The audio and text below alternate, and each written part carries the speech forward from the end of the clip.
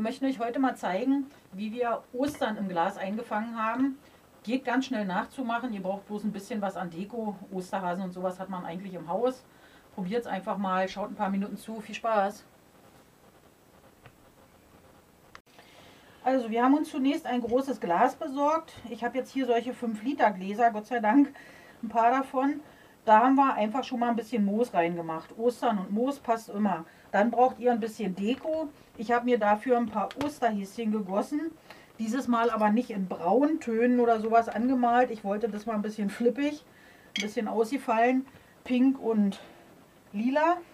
Die Balken da unten. Dann hatten wir euch gezeigt, wie wir solche glitzernden Ostereier uns machen. Die kommen hier mit rein. Ihr könnt ja Eier nach Wahl nehmen, was ihr so an Ostereiern gestaltet habt oder vorrätig habt. Und dann wollte ich eine kleine, naja, Blume, Pflanze, aber diesmal auch künstlich, weil die frischen sich gar nicht so lange immer halten. Muss man ständig wieder nachpflanzen. Also haben wir einen Kirschzweig genommen, einen künstlichen und den damit rein gepflanzt.